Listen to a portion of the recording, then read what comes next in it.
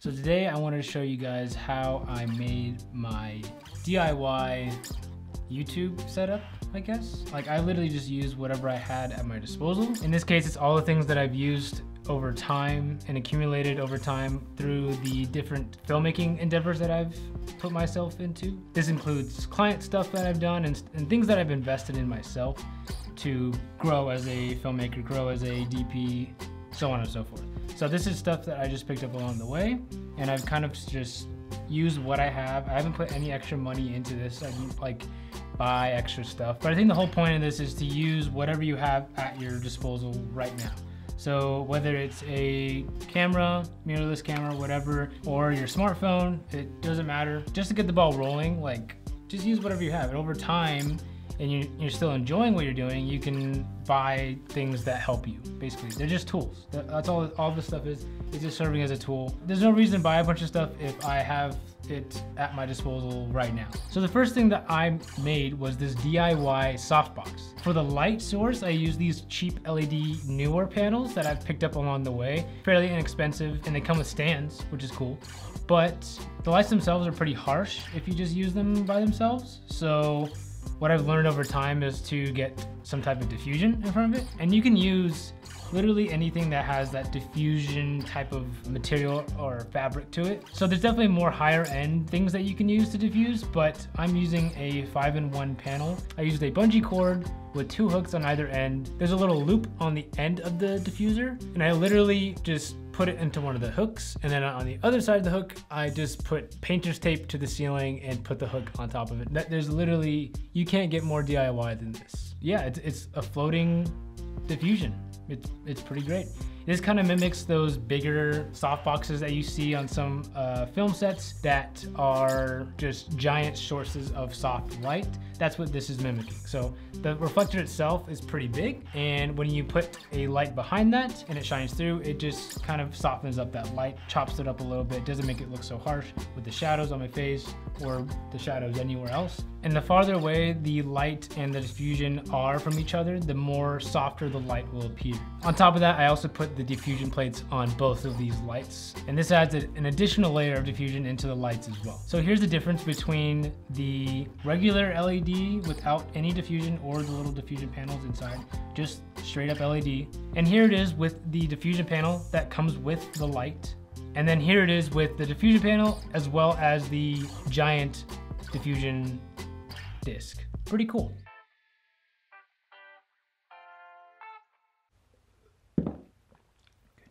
Then perpendicular from this light, I have another light that is exactly the same as the other one, same settings. Uh, maybe I dimmed it a little bit more, but it's aimed at the ceiling with the barn doors kind of like open towards the ceiling only, so it's not shining on my face. This is my primary shine on my face light. This is serving as like a bounce, so it shoots up on the ceiling, which is white, and it bounces back down on me and around me. Adds that more ambient kind of lighting that's not so harsh as well. Another way to get more soft light. But it's not exactly needed. I could just use the key. I could just, there's a lot of different ways you can do this, but this is just how I chose to do it essentially. The next thing is the no boom operator needed stand. So basically what this stand consists of is a mic stand that you could pick up for pretty cheap. Doesn't go too high. I wish it went higher, but this is fine. So once I go to that height, the maximum height that is available, I turn the stand a little bit more down, arcing over my shot. It is The mic is just out of frame. My finger is right where the mic is, but it's just out of frame. And from there, I fastened a H1N zoom recorder. I fastened that to the pole by using a Velcro strip that came with my Angelbird CFast card, which came in handy. I just kind of tightened that as tight as I can around the H1N recorder. I can still move it around, which is good, but uh, it's not gonna not gonna fall off, which is great. And then plugged into that is the mic itself. I, am just using an old Rode VideoMic Pro that hasn't really seen the light of day in a little while. So, and there's newer models that have come out since then, but it's a decent mic, it does the job. And that has a TRS cable at the end of it. What you would normally do is plug that into your camera, but in this case, I'm plugging it into the H1N. I literally just plug it in and bada bing, sound. Before I press record, I test the levels, make sure I can hear myself I see the levels bouncing and I'm all good. As for the mic and where it's positioned, typically you want your mic six to 12 inches away from your voice or wherever the sound source is coming from.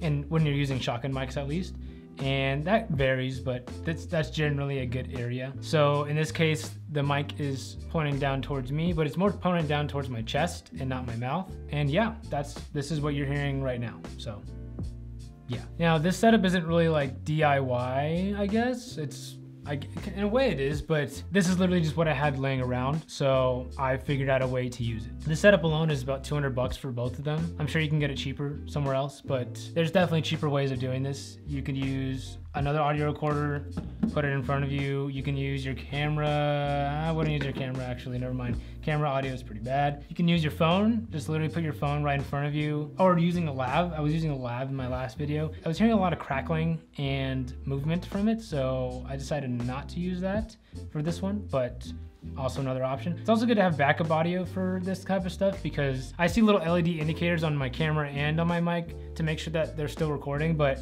you never know what could happen. It could turn off or something may happen and then you're out of audio. You got to be stuck with whatever you have. Worst case, you may have to reshoot. So backup recording is always good. And as for the mic leveling, you just want to aim between negative 6 dB and negative 12 dB. That's where that's the ballpark you want to hit in terms of the audio that you are projecting. So set up everything and then just put the mic where you think you want to put it and make sure you're hitting those levels. The last DIY thing that I've made and put together is a video light that I don't typically use all that often, but it's always good to have on me. That's why I purchased it. Pretty cheap.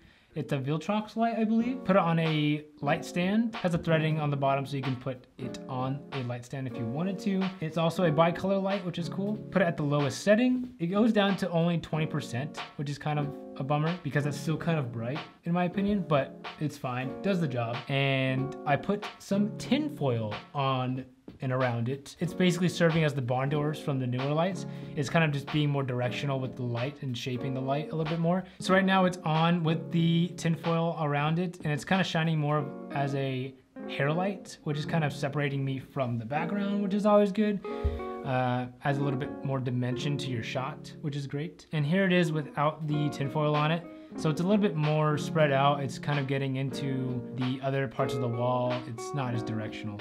So that's basically the point of the tinfoil. You don't need to put tinfoil on it. Maybe I won't use it, but it's fine. So effectively what this is doing is making a motivated light out of this light bulb right here. So the light bulb's orange. It's basically, it's enhancing that a little bit more. So it's putting a little bit more of that light on me, which makes it look like it's coming from that, but it's actually coming from that.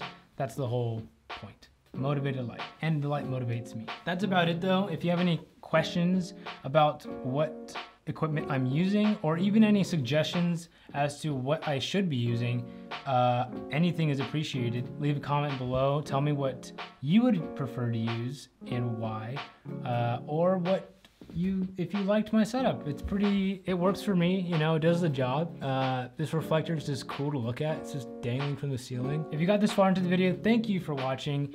And if you wanna help me make more videos like this and other cool videos, if you have any suggestions as well, uh, please consider hitting the subscribe button. And uh, have a good day.